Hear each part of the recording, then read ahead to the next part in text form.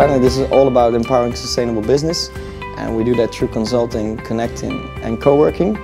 He combines uh, building a profitable business with having positive impact on the world.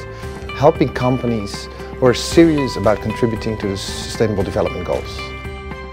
Because the word impossible doesn't exist in his mind. Uh, Kees is inspiring with his energy.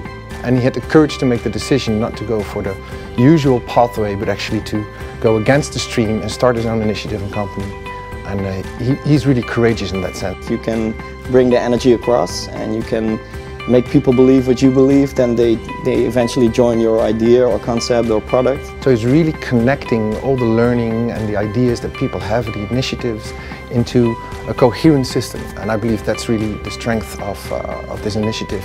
We connect people and make them uh, more responsible.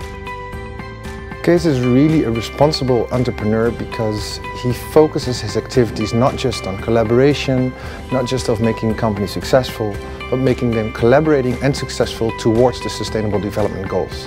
And we want to bring those goals on a local level so people get acquainted with it, we create awareness and eventually yeah, awareness should lead to commitment towards those goals.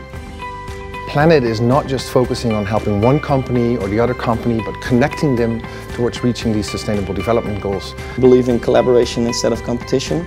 Because it's the first community I know that is uh, um, focusing specifically on the uh, sustainability goals.